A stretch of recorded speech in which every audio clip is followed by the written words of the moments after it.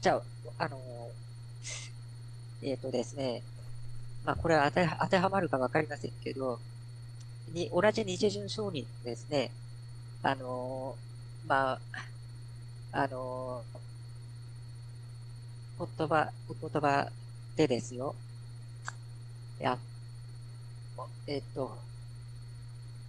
えっ、と、まあ、この三大非合章っていうものが、あの、えー、最も重要な、え、御所であります。それがこの御所が、大商人のご一代の対抗をお示しなされてあるからであります。えーそれゆえ、大商人のご家道の修復復興の全貌と対抗等を拝察申し上げるには、この御所によらなければなりません。この、えーよって大商人の御所を拝するには、第一にこの御所を拝して、対抗を両下し、立てまつって、後に他御所を拝するということにしなければなりません。この順序を取りませんで、やたらと御所を拝すると、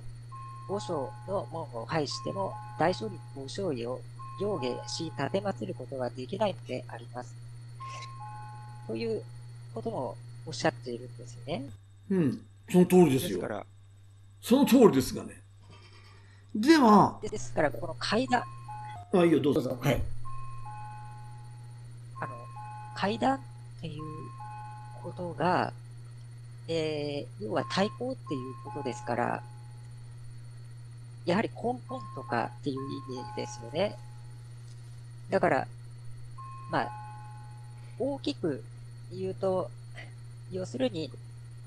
この国立会談を建立して、えー、仏国土にするっていうのが大商人の教えだとは、日順商人、いや、日順商人はそう言ってないんで、それは浅井さんがそう言ってるだけなんだよ。日順商人は、今のあなたの読んだ通り、三大秘宝の太閤が現れたのは三大秘宝賞しかないんですよ。その通りなんです。明確にね。ただ、その前の法音書だって、あの、はい片鱗は見えてますよ、もちろん。だけど、ここまで具体的に表されたのは三大秘宝賞しかないから、初めてこれで、えー三大秘宝の太閤が現れたので、あ太閤っていうのは根本じゃないよ。それも日本語の間違いだよ。太閤っていうのは大きな骨格って意味であって、根本っていうのとは違います。それは日本語の解釈が違う。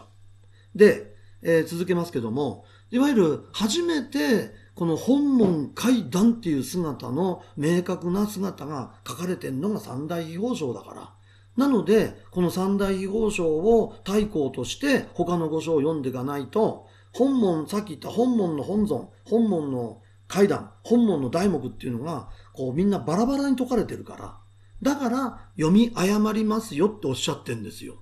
別にそれに国立だ国立だってことを、このことさらに日順商人が、えー、声高に言ってるわけじゃありませんね。それと、付け加えとくけど、日順商人が国立会談という言葉を使ってるところがあります。だけど、その時ではその時の国情として、日本国、大体いつ頃の経過か考えればわかることで、太平洋戦争が終わって、まだ日が浅い時、そして、まあ、いわゆる昭和の、あの、小本土問題まで、いわゆる指摘されるまでは、あの、別に国立会談という言葉をそのまま使ってきた。それだけのことであって、別に、えー今、浅井翔英たちが言ってるように、その、えー同じ心なんですよ。要は日権承認と、要はその今の段階でそれが具体的に国立でなきゃならんとか、直線並びに民謡書だとか、そういうことを論ずる時代ではないけども、慣性、慣例的に国立会談って言葉をただずっと使ってるだけのことで、そういうことも読み取らなきゃいかんですね。あなた方はそういう門だけ取って、日順書にも使ってるじゃないか。ね、西交渉にも使ってるじゃないか。こういうふうに来るけど、これも知ってると思うけど、歴代合法承認、大承認を含めて、歴代合法承認も含めて、国立会談という言葉を使いなお使いになってるのは4人？確か4人でしょ ?4 人の経過だけですよ。しかも近代ですよ、それも。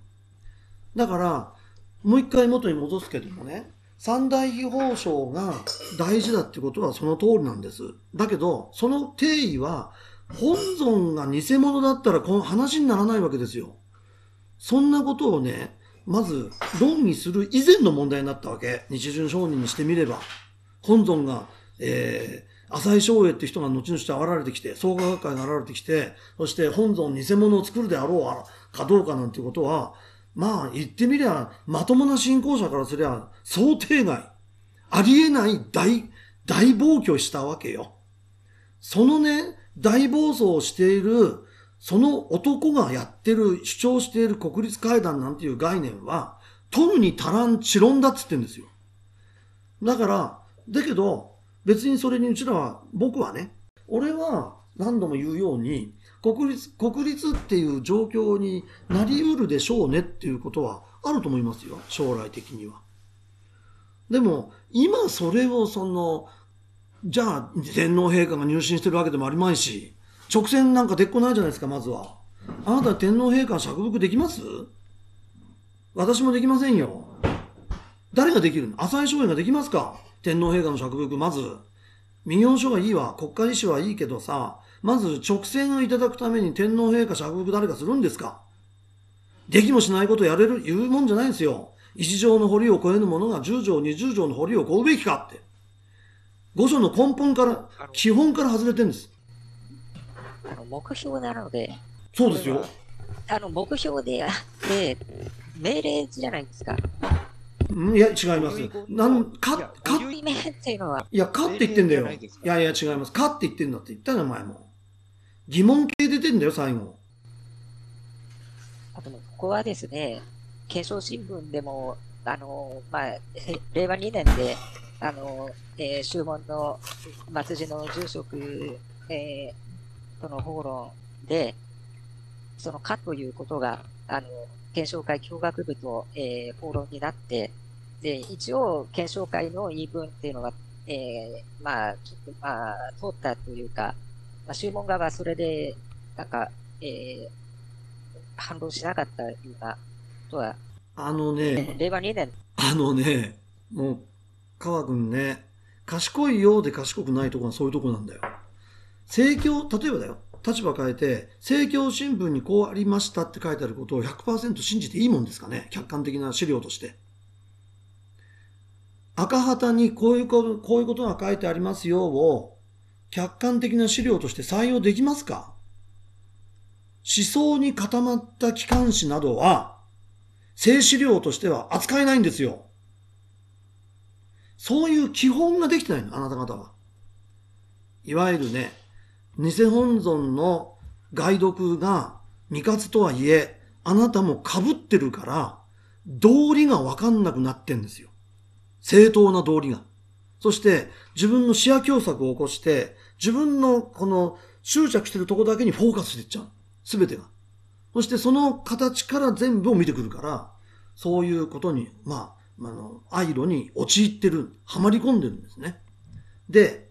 まあこれについてはさ、もう今日も長時間になっちゃったから、あの、いくらでもまた次回、この国立に含めて、えー果たして、えーどうあるべきかっていう訪訪問的なことをまたやりたいと思うんだけど、今日はさ、もうこれで相当な時間食っちゃったから、あの、さ、